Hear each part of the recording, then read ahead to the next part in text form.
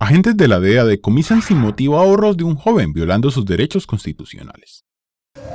Joseph Rivers dejó Romulus, Michigan el 15 de abril con grandes sueños al viajar a Hollywood para rodar un video musical y abordó un tren de Amtrak con 16 mil dólares en su bolsillo, que adquirió a través de trabajo duro y la ayuda de sus familiares.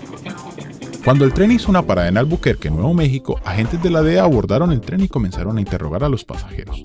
A continuación, comenzaron a requisar equipajes de los presentes.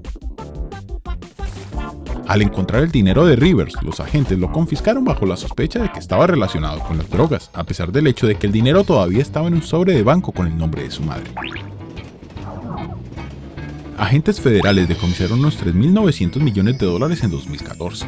El dinero, no el individuo, va a juicio donde se considera ilícito hasta que se demuestre lo contrario.